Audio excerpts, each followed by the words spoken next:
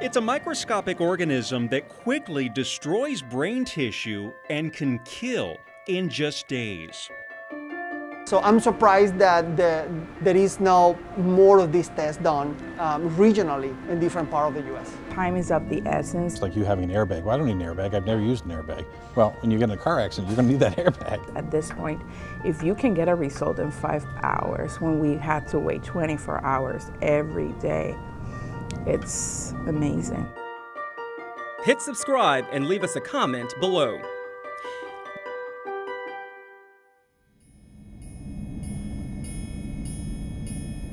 In August of 2016, 16 year old Sebastian De Leon and his family traveled from South Florida.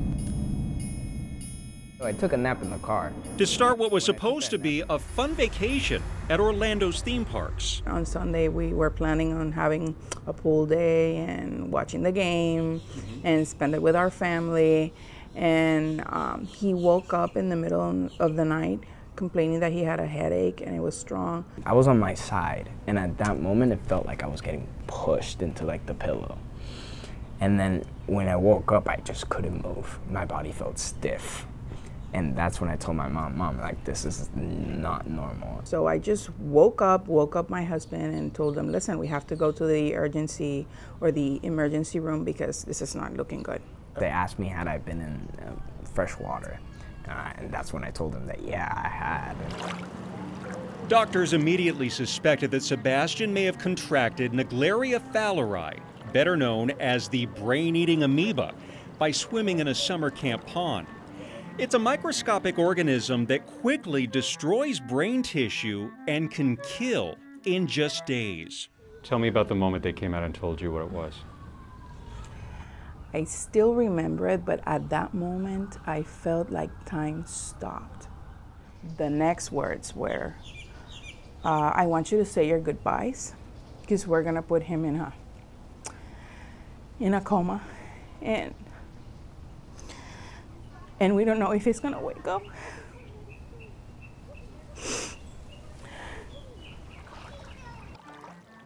The Centers for Disease Control and Prevention says this deadly amoeba can be found in any body of fresh water. It can infect humans if they get that water up their nose. Most reported infections happen in southern states where the climate is usually warmer, with most reported in Florida and Texas. But cases have also started to emerge as you move north, in states like Virginia, and as far as Minnesota. It's a rare disease, right. um, and so you don't see it very often. We have two buildings. This building is used for manufacturing, um, uh, all the manufacturing we have. Todd McLaughlin is the CEO of Profounda Pharmaceuticals in Orlando. So this, this is a lab where we do our quality testing. Aside from creating their own brand of healthcare products, this actually is the, the, the batch that just came in of the new Impavido. Profounda is also the only U.S. distributor of Impavido. Sebastian was the first patient ever to receive miltefosine or Impavido while still conscious. The only drug there's the pill that kills this amoeba. We got the call. Uh, I got the call um, from first from the from the hospital, then I got a call from the Florida Department of Health, and then I got a call from the CDC, all within the span of about two hours. Uh, we heard about it, and my son uh, immediately hopped in the car in his pajamas, um, and because he didn't want to waste time, and got the drug and drove it directly to the hospital. And uh, within, you know, 20 minutes, he was at the hospital with the drug, and that really, I think, is what helped uh, Sebastian. Sebastian became one of only four people to survive the brain-eating amoeba in the United States. He worked through months of physical therapy to relearn how to walk and even tie his shoes again. So how much is it? It's about it's about forty eight thousand dollars for the for the treatment for the month. For for a thirty day supply. For the twenty eight day supply, correct. But McLaughlin says patients will never pay more than hundred dollars. Despite that, and the fact that every minute counts when someone is infected, very few hospitals have Impavido in stock. So why don't more hospitals just keep this on hand as a preventative? So I'm going to answer that question a different way. Is why do people keep it on hand? And the answer is because they've seen a case of it before. So they have cases so they can see it. Whereas, oh, I've never seen that before, so therefore I don't need it. It's like you having an airbag. Well, I don't need an airbag. I've never used an airbag. Well, when you get in a car accident, you're going to need that airbag. He was a handful, but he was our handful. He was very outgoing. He made friends very easily. Jordan Smelski's father, Stephen, believes his 11 year old contracted this amoeba while swimming in hot springs during a family vacation to Costa Rica. Saturday, he, he got sluggish in the afternoon. He started vomiting at like midnight on Saturday. We took him to the emergency room on Sunday, diagnosed him with viral meningitis. They admitted him to Children's and Monday, he woke up, he actually, we thought he was going to be okay because he was in good spirits. On Monday, it's like God gives you those last few hours and you don't even know it. We ordered the drug from the CDC and it arrived at 8 a.m.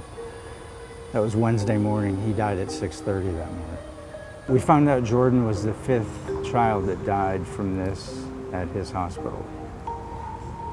And we realized if we didn't step up, the sixth child would end up with the same thing and the same issues that we went through, those parents would go through too.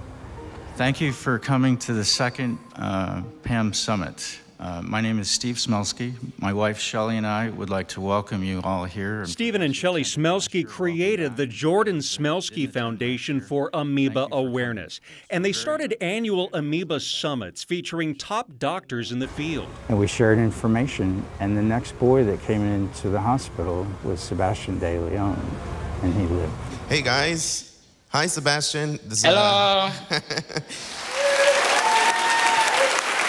My name is uh, Dr. Jose Alexander. I'm a medical microbiology and medical director for the microbiology department in Advent Health. After treating both Jordan and Sebastian, doctors at Advent Health were concerned that the test to detect this deadly amoeba was taking too long to get results back. So Dr. Alexander and his team took it upon themselves to come up with a faster solution. In the instrument, we are able to put the cartridge. We have a capability to put six in each side of the, of the instrument. Their tool, a PCR test, made more widely available during the COVID pandemic. It trims a wait time of nearly a week down to just hours. And I say it's just putting together the recipe in a right way. So I'm surprised that the, there is now more of these tests done um, regionally in different part of the U.S. And you're hoping other hospitals sort of latch onto this and, and use it, right? Yes. This is a game changer, and if every hospital has the test available, they can check it themselves without sending the sample of uh, CSF to the CDC in Atlanta. Time is of the essence at this point.